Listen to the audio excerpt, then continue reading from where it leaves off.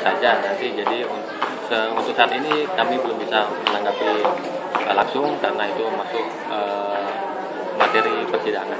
Tentunya kita pasti jawab atau tanggapi dari keberatan penasihat hukum maupun terdakwa itu kita jawab secara tertulis di persidangan selanjutnya. Eh, kami belum bisa menanggapi ya nanti di sidang selanjutnya aja nanti.